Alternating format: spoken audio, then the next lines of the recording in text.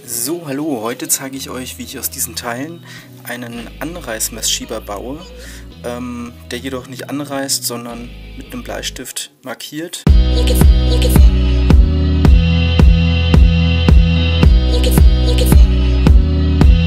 Das wird ein recht kleines Teil, die ganzen Sachen, das sind so Reststücke, das passt jetzt auch alles nicht so hundertprozentig, aber das reicht jetzt völlig aus. Das wird dann irgendwie so zusammen hier vorne so einen Anschlag hat. Da wird ein Bleistift durchkommen. dann kann man das hier rausfahren und dann so Linien markieren. Ich finde es immer praktischer, als direkt ins Holz anzureißen. Daher ist das jetzt meine Bauweise. Anfangen werde ich damit, dass ich mir hier erstmal so eine Bezugskante mache, dass ich weiß, das Holzstück gehört genauso zusammen. Das markiere ich mir dann auch mit dem Bleistift. Und jetzt habe ich diese zwei Markierungen, einmal da und einmal dort. Und so weiß ich halt, dass das so platziert werden muss. Dann setze ich mir diese beiden Stücke auf die Kante, dass das hier schön bündig ist. Und markiere mir die Dicke von diesem Holzstück. Das mache ich am besten mit so einem Teil, zumindest die eine Kante.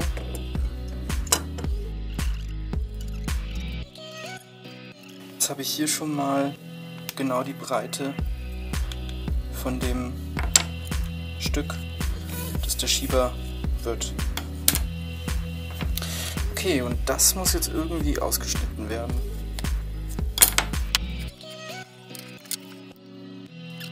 Als nächstes messe ich jetzt erstmal hier die Breite von meiner Leiste. Das Ganze ist 5,5 mm breit. Ähm, das heißt, ich werde das Ganze so machen, dass das eine relativ tief versenkt wird und bei dem anderen nicht so tief, weil das im Grunde dann hier mit einer Flügelschraube befestigt der Andrücker ist, um das Ganze festzustellen.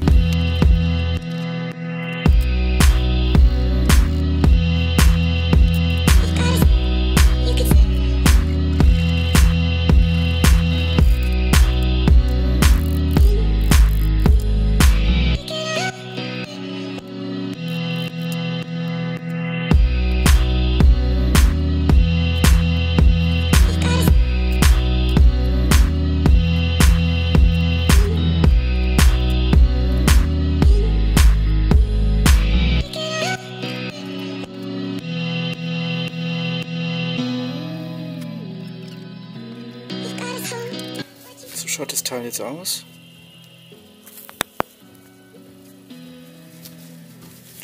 Das Ding passt da gut rein.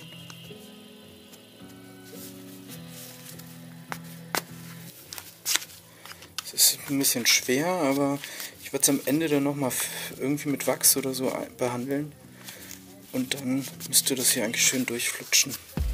Der Deckel wird das Ganze zusammendrücken werde aber in dem Deckel ein bisschen was rausnehmen. Also zumindest so die erste, die erste Schicht.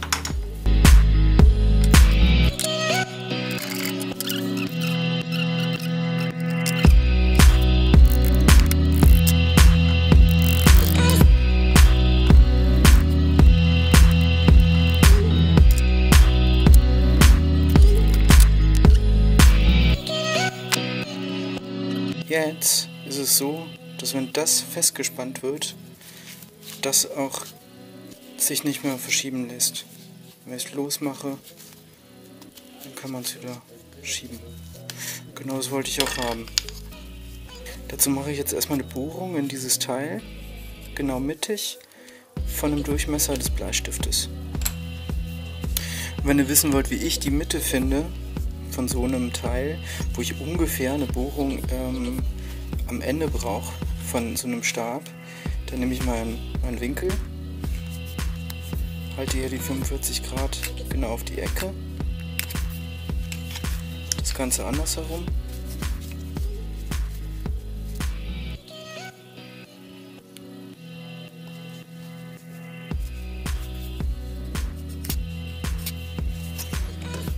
Und da habe ich jetzt den Mittelpunkt von dem Brett der Leiste.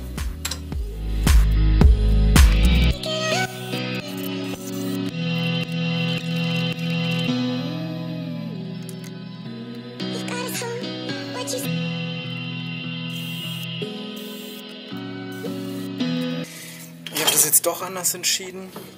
Ich werde das jetzt doch nicht mit Flügelmuttern machen, sondern einfach mit einer Schraube festmachen, so dass es schön fest ist.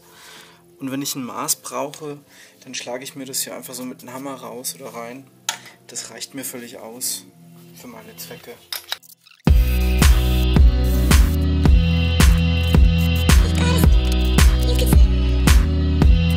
Es geht auch sehr stramm.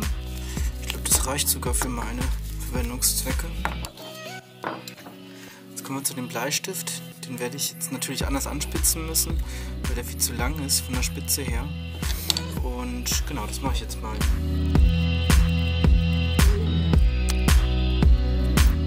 So, das war es eigentlich auch schon. Jetzt schauen wir uns das Ganze kurz nochmal in Action an. Also hier ist der Anschlag.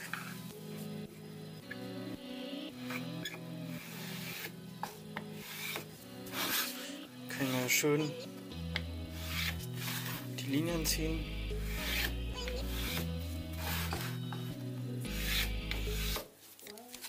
Ich kann es auch verstellen.